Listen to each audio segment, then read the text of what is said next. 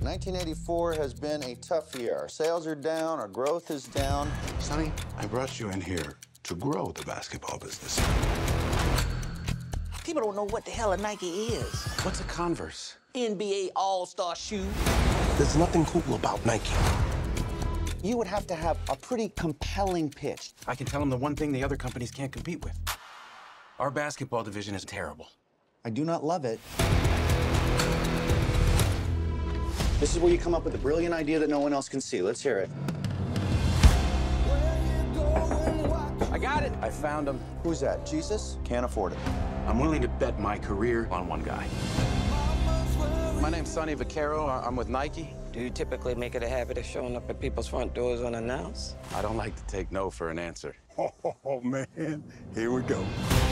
You ask me what I do here. This is what I do. I find you players, and I feel it this time. Yeah, okay, it's risky. When you were selling sneakers out of the back of your Plymouth, that was risky. Don't change that now. For a rookie Yes. who's never set foot on an NBA court. That's the literal definition of rookie. Yeah. What's the plan? We build a shoe line around just him. I need the greatest basketball shoe that's ever been made. Who's the player? Michael Jordan. Your motor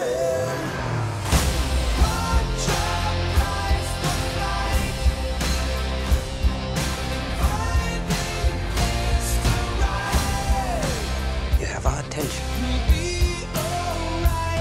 I believe in your son. I believe he's the future. And his story is gonna make us want to fly. But a shoe is just a shoe. Until my son steps into it.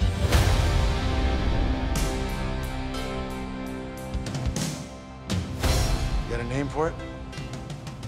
Air Jordan. I don't know. Seriously? Maybe it'll grow on me. motor